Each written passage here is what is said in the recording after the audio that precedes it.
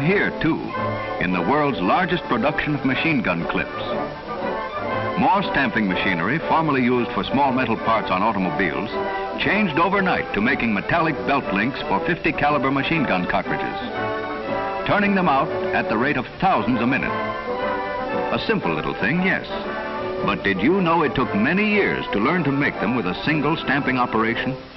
And they must be accurate to the thousandth of an inch. For that reason, they are each one inspected and re-inspected and carefully packed. You can count on these girls being careful. Many of them have husbands, brothers, or sweethearts somewhere at the front, whose lives may depend on one of these clips. They work like this. Just the links and the cartridges form a belt.